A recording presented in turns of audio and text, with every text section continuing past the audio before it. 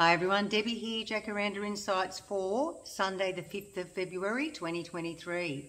Now the first card is about work and it's a bit odd to come up on a Sunday, isn't it, when we're not working most people, but it is about the security, our talents, our career. This person here on with the Eight of Pentacles is really focusing on making that one just as perfect, if not better than all the rest.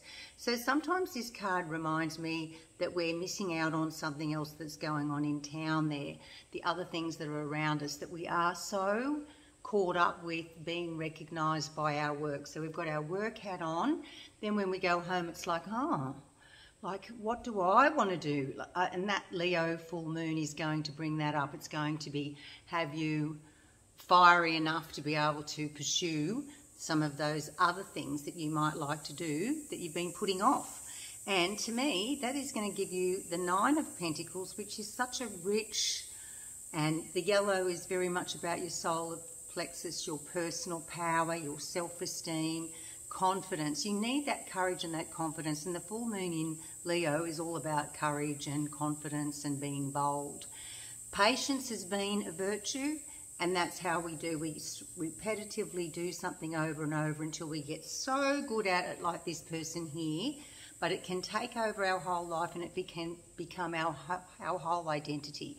That's what I guess I'm trying to get across today is go and sit in nature, go for a swim in the ocean, have some time out, give yourself some quiet time. Instead of you, you know, you be patient with you and have that downtime for you to be able to allow some great inspirational ideas to come in because the last card is the Queen of Swords. So here you are with your angels and you have an antenna and you're plugging into what you really want the clouds are dissipating, so the tough times are over. You know how to manage and function in your life. You know how to save. You know how to manage people and relationships.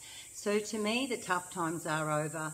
Being the queen, being uh, able to think sorts of thoughts, very analytically, but also be still plugged in with your intuition is the best form of defense, isn't it? To actually have that confidence, again, like that Leo the lion, to be able to make decisions not just using your head, but using your heart. Sometimes our head can get in the way. Sometimes I say to people, come back and put your hands on your heart and just say, what does my heart say to do with this decision or uh, problem? Because your head is so tainted with so many different things from society that we need to come back to what our original gut instincts are.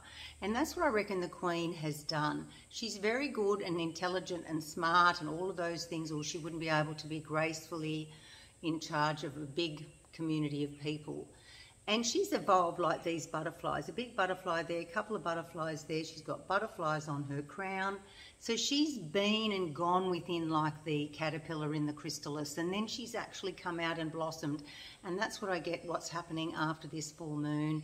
We're going to be pursuing our way to freedom because birds in the tarot mean freedom, personal freedom.